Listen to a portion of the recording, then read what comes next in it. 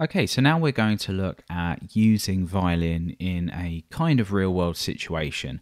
The code for this isn't going to be great. We're not going to be separating views from controllers uh, and anything like that, or using a nice templating language, but we can roughly look at how this is going to work. So the first thing I want to do is just build up a form below uh, the PHP code I have at the top of my page. So imagine this is some kind of login form or something. Uh, for this, I'm just going to create a form with an action of a hash, nothing here. Uh, the method here is important because it's how we're going to pull everything in. And within this, I'm just going to create a couple of divs. We'll create a label for an email address perhaps that we need to give. So let's say that's email. And let's create an input here with a type of text with email. Obviously, you could take advantage of uh, front end validation by having a type of email, uh, but for here we'll just focus on the back end. And obviously, we would need a password, so let's create a label for our password field and enter a password uh, label here. And we'll have an input type of password, name and ID being password. And let's go ahead and create a submit button down here and we'll just say login. So this currently looks like the following. Um, so we can go ahead and hit login and that submits this data through to that page. So what we're going to do at the top of the page here once that form has been submitted is uh, first of all check whether some data has been submitted. Then we're going to assign the values of that posted email and password to two variables. We can then pass them into our validator and then in our sort of fake view down here, which is obviously just markup at the top, uh, at the bottom of this page, we can go ahead and output any errors that we find. And we can use the errors message bag that's returned to us to handle this in any way that we want to. And we'll see how that works in just a moment. So first then let's create our if statement just to check if any data has been submitted. So we check if uh, the post super global array is not empty. And then we want to assign a value for email and password.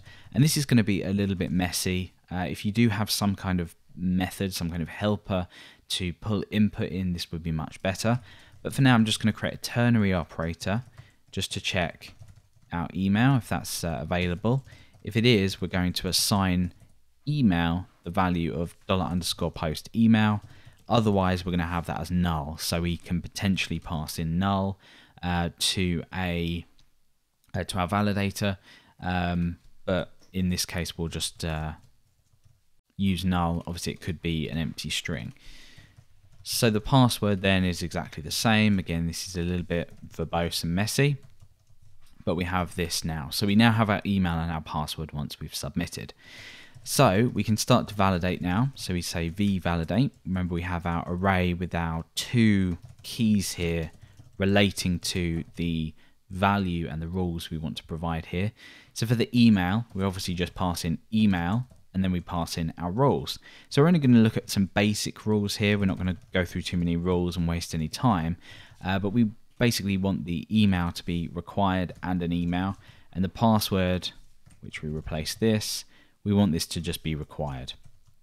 And obviously you can play around with this if you want any other rules uh, included. So now when I hit login, nothing really happens. So basically because we're not outputting anything. But let's say we wanted to loop through the errors that we have and then just output them. In a moment, we're going to look at uh, outputting specific errors next to the field, which is probably more desirable.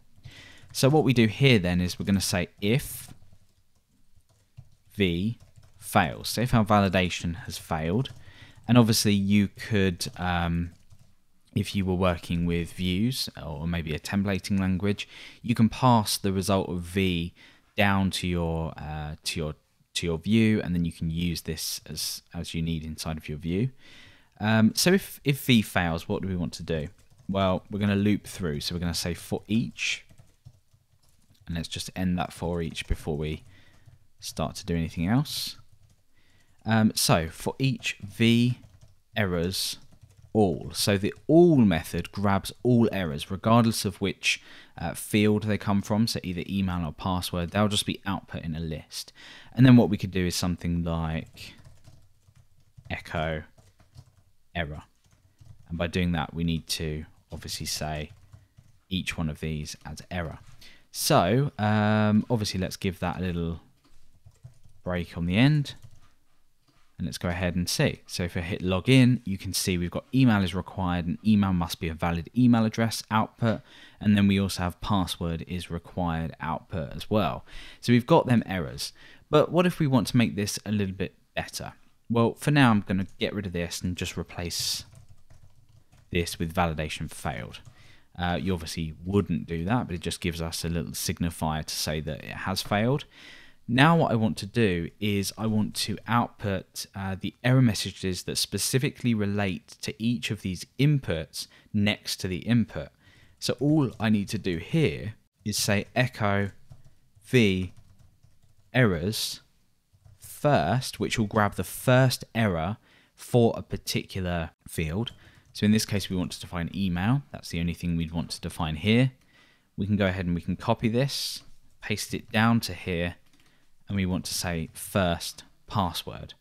So now what's going to happen is when we, let's just refresh the page and hit login, we now see validation failed because we used our fails method, but now we see these errors output next to each field. So this is really, really helpful.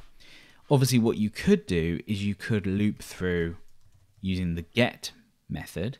So you could say for each v errors get password, that would give you all of the errors relating to the password but usually you'd only ever want to output one error next to each of these fields. It's entirely up to you what you want to do here.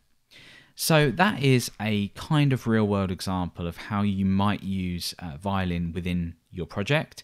You can see how easy it is just to output errors down here and how easy it is obviously with this very, very small validate method to pass in the data and the rules to validate the data from your form.